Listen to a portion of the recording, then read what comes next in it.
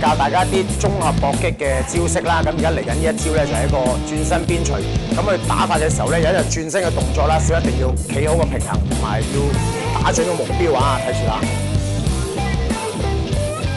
係放鬆呢個膊頭，輕鬆啲得噶啦。